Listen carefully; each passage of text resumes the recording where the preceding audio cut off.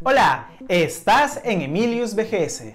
Meta sigue sorprendiéndonos a toda la comunidad. Ellos impulsan la estandarización de los juegos y la interacción de todas las experiencias, y además a nivel mundial es uno de los headsets más comprados. Es por eso que hoy voy a hablarles de algo que me tiene fascinado, el hand tracking. Les comentaré mis ideas, mis apreciaciones y por supuesto también quiero que ustedes comenten en la caja de comentarios qué opinan respecto al hand tracking. ¿Estás listo? ¡Comencemos!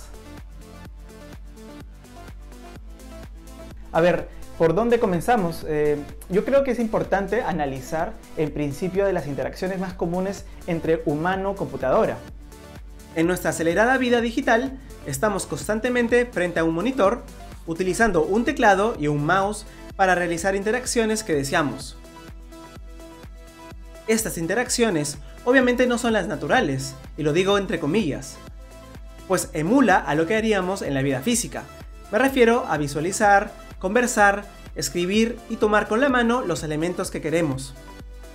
Luego de unos años apareció la realidad virtual, de manera masiva, de la mano de Oculus y sobre todo de Oculus Quest, que yo creo que marcó un antes y un después. Aquí que tenemos, pues nuestro headset, que incluye pantalla, luego tenemos dos mandos que serán nuestras extensiones, es decir, extensiones de nuestras manos, para seleccionar y elegir elementos pero gracias a unas cámaras externas, estos headsets pueden detectar nuestras manos reales, y no solo eso, también detectan los dedos y sus movimientos. Y esto es realmente importante, estamos humanizando las interacciones, estamos regresando al origen, y eso es la clave. Poder usar nuestro cuerpo como naturalmente se utiliza, para expresarse y tomar decisiones, será la clave para el tan esperado y aún marquetero metaverso. Como dirían algunas personas, esto será la computarización corporal o la digitalización corpórea. Existen tres experiencias que quiero resaltar y que me parecen fantásticas. Te recomiendo que las pruebes y entiendas el potencial de esta tecnología. El primero es Physics Labs, una app que nos permitirá realizar diferentes pruebas para poner al límite nuestra capacidad de usar nuestras manos.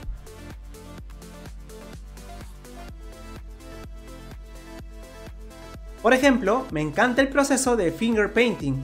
Por nuestros dedos tenemos que pintar dentro de un círculo pequeño. Requiere alta precisión.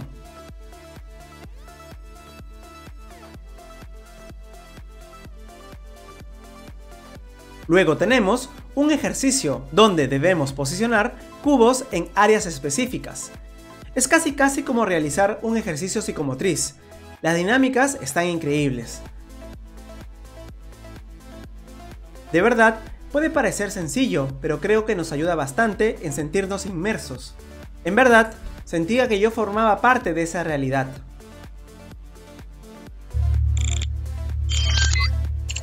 Si queremos hacer algo más lúdico, Cubims te va a encantar, pues es un juego relajante donde usaremos nuestras manos para completar una estructura. Es como si fuera Tetris, la música nos calma bastante, mientras nos desesperamos por encajar correctamente los elementos. De verdad, es uno de mis juegos preferidos. Y además es rejugable. Es decir, puedes jugar las veces que quieras y no te vas a aburrir.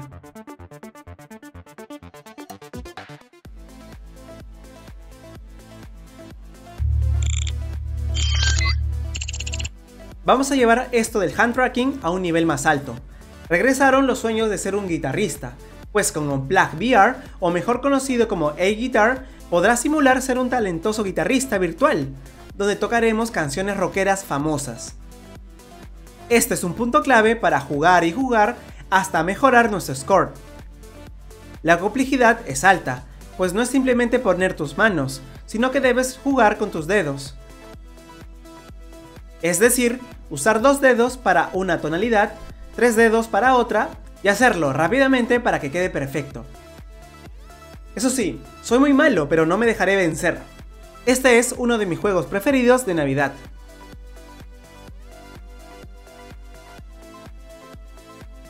¿Y cuál es el futuro del hand tracking? Pues el hand tracking debería ser la norma en un futuro, es decir, poder utilizar nuestras manos para cualquier interacción que deseemos, no solo para jugar estos tipos de experiencias, sino para navegar e interactuar. Actualmente es posible, aunque el gran paso sería poder sentir los elementos virtuales. Eso sería la verdadera inmersión. Un proceso que aún está lejos de masificarse, pero que ya se está viendo avances al respecto. Por ejemplo, puedes ver los guantes ápticos. Los guantes ápticos son una mezcla de circuitos, tela adaptiva y robótica precisa para enviar aire por conductos específicos, haciendo presión en partes relevantes de la mano para simular la sensación de estar tocando algo de la realidad, cuando en sí se está enviando información por computadora. Estos pequeños conductos generan la sensación de peso y de forma. Increíble, ¿verdad? Y eso que solamente estoy mencionando algún tipo de guante áptico. Existen diferentes formas de trabajar esta tecnología. Me encantaría probar unos y traerlos al canal. Por cierto, en el CES se anunció los primeros guantes ápticos diseñados para el usuario final.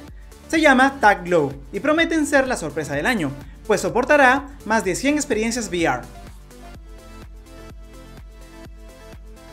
¿Te gustaría que hable más de estos temas de realidad virtual? No te olvides de comentar y apoyarme bastante con un like. Un fuerte abrazo. Esto es todo por el momento. Emilius BGS se despide. Nos vemos en el metaverso. Bye.